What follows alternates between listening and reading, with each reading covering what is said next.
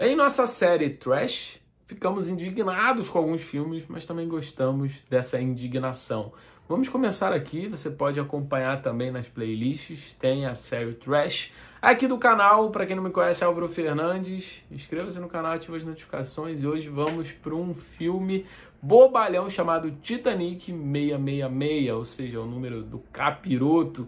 Mas que diabos seria e qual o enredo disso? Existe um stream americano que ele pega aí alguns filmes que vão ser lançados e lançam antes. Ou seja, no aniversário aí do Titanic, lançaram o Titanic 666. Então eles estão, no filme, né? Estão lançando o terceiro Titanic, mas por que terceiro? Porque sim, já teve o 2. E o terceiro Titanic, ele é mal assombrado pela filha do capitão do primeiro. Olha, já começa a história. Então temos influências que vão para cobrir ali a estreia do filme e aí acontece um monte de coisa no filme, um monte de fantasma.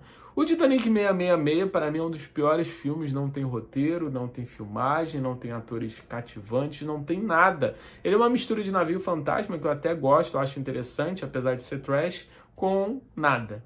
Exatamente. Você não consegue gostar de nenhum ator, você não consegue entender a história, e é simplesmente isso, um navio amaldiçoado. Se pudesse aí resumir, fazer uma crítica, eu daria nota 0.7, um pouco menos que 1.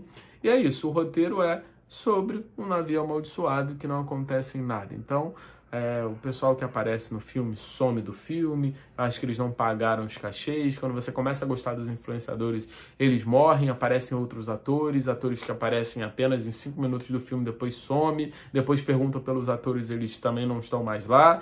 Então, realmente é um filme muito ruim, mas com certeza aí conseguiu pegar algumas pessoas que gostam de Titanic ou que gostam ali da saga, inclusive eu, né, que tive que assistir esse filme horrível. A pior, perdi duas horas da minha vida praticamente, uma hora e trinta, uma hora e quarenta, mais uns 20 minutos para ler as matérias, para assistir Titanic 666. Então, caça-níquel lá dos Estados Unidos estão a todo vapor. Também lançaram aí um pouco antes de Top Gun, um Top Gun, um Top alguma coisa assim também, para pegar aí onda para surfar. Então as pessoas assistem com curiosidade. Eu mesmo gosto de filme trash e Titanic 666 entra aí para um top 10 com certeza dos piores filmes que já existiu no cinema.